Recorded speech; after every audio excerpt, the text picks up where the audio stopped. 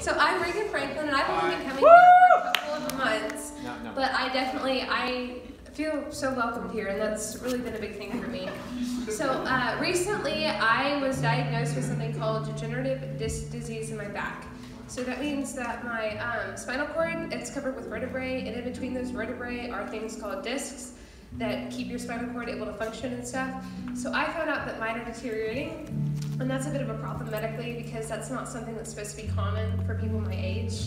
So that was really, really scary for me. I know after that I was really I was scared out of my mind. I didn't know what I was going to do about it, but um, that's when I came to church that night, the day that I found out that I was diagnosed, and I was prayed over by some of the most wonderful people that I've ever met.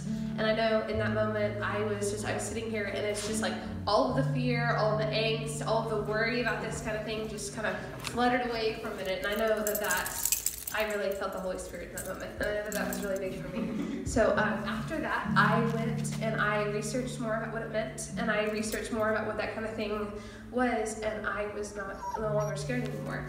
And I know there's things that I'm gonna have to give up, like I'm not gonna be able to run track, and I'm not gonna be able to do sports for a very long time, at least. Um, that's what I'm hearing.